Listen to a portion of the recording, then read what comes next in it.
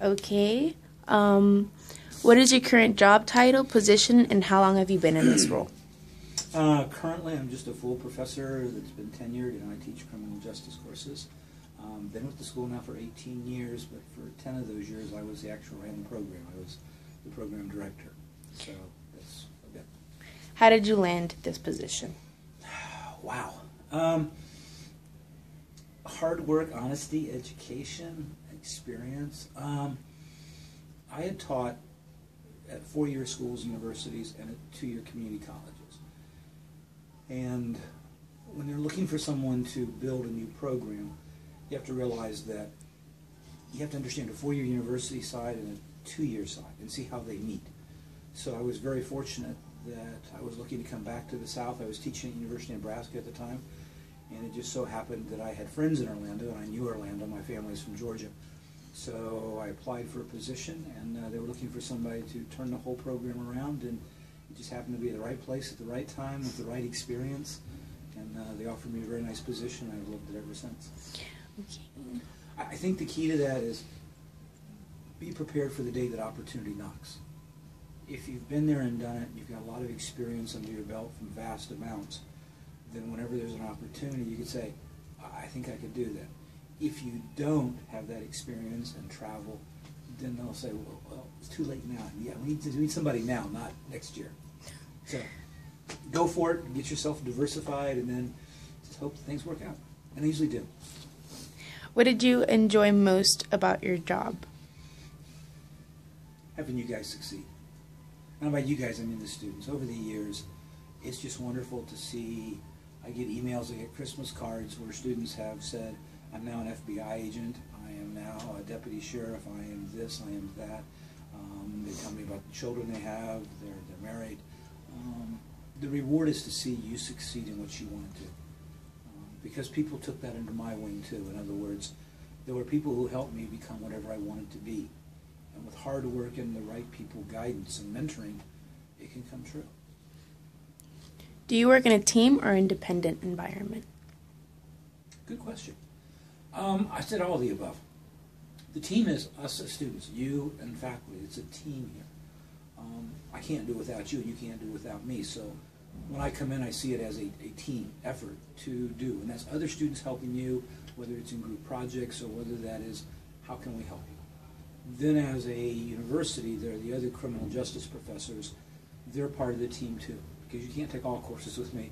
So it's a, are we providing with all of our faculty what you need and what you want? So that's part of a team. And then we couldn't do it without all the, the staff, without deans, without office assistants, without somebody to clean and, and, and keep this place so beautiful. It's a team effort there. And then, of course, all the campuses and then the big school itself, it's a team effort from Sandy Shugart, the president, all the way down to custodial. We're all, we see ourselves as a family. And more so on East Campus. There are six campuses, and each campus is sort of independent from the others. East Campus, I never thought I'd be here 18 years, but it's just been fun. So it's more of a family. I enjoy all the people around me, so that has helped, and I enjoy the students. Um, how does the style impact your work? Meaning, working with others can be challenging, supported, helpful, frustrating, and working independently can be lonely and powerful and, diff- and difficult. Before I answer that one, which I'll need to have repeated because that was a long question. Excuse me. Um, independent from the team is what I do in this office or at home when I grade exams. So I'm creating my own. What can I present? We're always doing research as professors to find out how can we do something different. We stay on top of whatever the current situations are by going to conferences, and we try to bring those back to the students. So there's an independent part that says we need to go out and learn ourselves so that we can share with you. Now, the next question, which is really long with all these multiple choice answers, was? How does this style impact your work, like working in a team or independent environment? Do you feel like team wise it's challenging but it's supportive and helpful, or working independently, do you think it's lonely, empowering, or difficult? How about all the above? when in doubt, choose all the above. Um, independent part is that I can choose the textbook and teach the way I want to teach. We have a lot of academic freedom. Deborah Jacobs could teach the way she wants to teach, and she uses her textbook. Susan Yon and all of our other faculty, there's some individual discretion. So when you take all the courses from all the professors, we're all a little different. And some you may really admire and go, wow, I like their teaching style. And others seem to be difficult, but you still made it through. And the reason for that is in real world, you're going to have different bosses and different clients. And if you can get through no matter what the boss was, no matter what the professor was, you got B's and A's, then you'll, you'll accomplish whatever whatever client we throw at you, you'll get through it. You might be frustrated, but you'll get through it.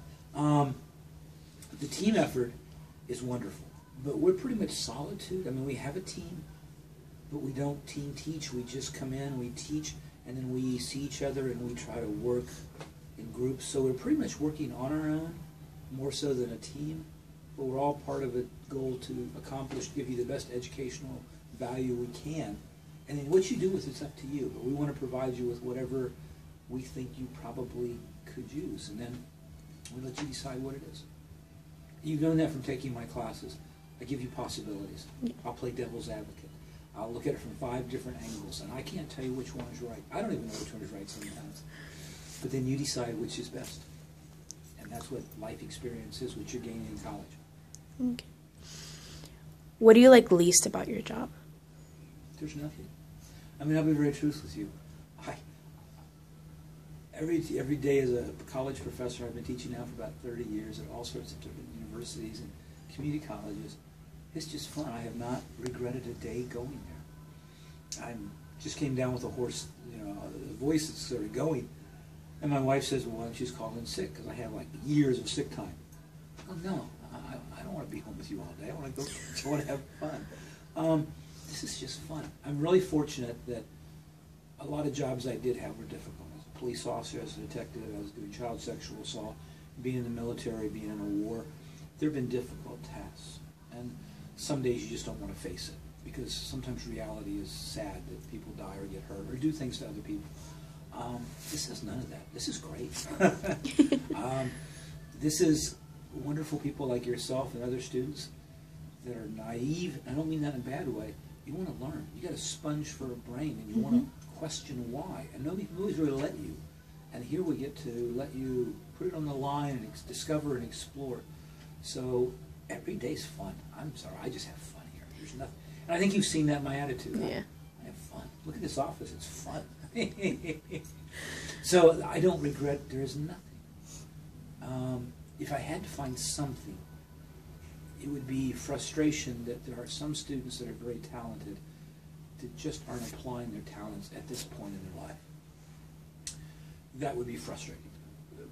But we do all that we can, and ultimately, if they choose not to succeed or not to take advantage of what we have offered them, then that is ultimately their decision. And while they may not do well and may leave the college, they can always come back. Sometimes the very first right out of high school, sometimes you're not ready at this point for college. Sometimes it may be five or ten years before you finally go, wow, I've grown up. I need college now. So that's frustrating, but that doesn't get me mad. It's just a challenge to make it so interesting that people want to come. I can see dropping math. I never liked math. and I can see not doing as well. But when you have courses, I think, with wonderful professors that keep it interesting, you want to go to class just to see what Terry's going to do today. And I don't know what I'm going to do till I do it. to a large degree. Yes, I have a a plan, a, a you know, a framework. But I don't know what tangent I'm going to get off on. And in criminal justice, I don't know what's going to happen on the news today that we need to talk about tomorrow. So it's always interesting. Um, what was your major in college? Psychology and criminology. Um, I had been a police officer for many years and was still working in law enforcement field when I went to Florida State. And so I got a psychology degree. The gun never saved my life, your mind does. The way the mind can handle a situation, perceive whether to be nice, whether to be firm, to understand. Psychology is what I wanted because I wanted to find out why people do what they do. As a police officer, I didn't need to take handcuff 101. I understood procedures, evidence, and procedure law. I understood that. So I wanted a criminology degree, but first I got my psychology degree, then I got my criminology, both undergraduate and graduate. And criminology, as you know, is psychology, sociology, religion, biology, all these interdisciplines all coming together to find out why we do what we do. Please describe your career path to this current job. I never thought I'd be here. um, there was a, a group, rock group, um, called the Grateful Dead. Jerry Garcia was the lead singer. And they had a song. And the song says, What a long, strange road it's been. And I guess that's where I would have to say, I never planned this. It just developed as life develops. You, I originally just wanted to be a motorcycle mechanic, be in a motorcycle gang, and that was it. And I got tired of people who were short of shallow, and a lot of people in motorcycle gangs, there can be prejudice, not much diversity, and they just they don't see a big picture. They're great at just riding, having fun, drinking beer. Don't get me wrong, it's fun, but somewhere I wanted more. My brain wanted something more intellectual. Um, I ended up in the military. Didn't want to, but I was drafted. Um, and so I found out that if you had an education, you didn't die as easy. You were an officer. You were thought of at a different level than somebody who didn't have a college degree. And so I realized the importance of education. So when I got out of the military, I was fortunate to have the GI Bill, which is pays for college for those people who've been in the military. So I went to college. And part of that was I wanted to learn and get away from war. And had been enlisted, you're not treated as a thinker. And I wanted to think. So I was able to discover. The other thing, to be truthful with you, I, I wanted to go to college and party. I wanted to hear, I heard about fraternities and toga parties. And by God, I've been in war. I don't want to go to war. I want to experience that. So I found I loved education. I had some wonderful professors. They taught me all sorts of things. I went to a community college before I went to Florida State. Um, I just found it wonderful. And then I just found myself working back in law enforcement um, in different aspects, moving up from detectives to doing sexual assault. And I found myself teaching back here, and it just worked out. I never thought if you'd asked me 30 years ago, are you going to be a college professor? No, I'm just going to ride motorcycles and get drunk. I don't know. so it, it's, it's, I've had the opportunity to travel throughout the world. I was a guest professor in Germany or Deutschland. Um, I've taught all, it's just, it's, uh, it just happens. Um, so I can't tell you how I got here. I, somehow I just did. and I mean, it's wonderful that I did. It's all worked out well. Okay. Um, last question. Okay. What is your favorite place to think about their law enforcement, and why do you like it so much? what is my favorite place to think about in regards to, to law enforcement? To yeah, law like their law enforcement, how they, um, how they handle their law. The best way is what I how I approached it, I have nothing but admiration for officers who sort of follow, and I I follow in the footsteps of a lot of officers too. I was the type that I hope nothing ever happens to anybody. I used to say a, a little silent word to whoever would listen. I hope I have the quietest, boring night out there on the cruiser. I hope nothing happens. I don't want anybody to get hurt. I, I wasn't looking for excitement. War, unfortunately, taught me I don't want excitement anymore. So the idea was you take the approach as law enforcement that you hope everybody is happy and you have nothing to do tonight. You're bored. But if something happens, which unfortunately it does, I hope that I can be there and assist people in a negative situation to turn it around to be more positive. And that can include a lot of things. If somebody has just harmed you, I may have to make an arrest to try to make your life and their life, hopefully, through the court system better. I hope that I can just say, ma'am, please slow it down, have a nice day. I mean, I hope that nothing happens, but if it did, and so the officers that take that approach, that my job is to help. I'm a public servant. My job is to help you. And if I come away at the end of a day or a shift and I maybe solve somebody's problem, that was wonderful.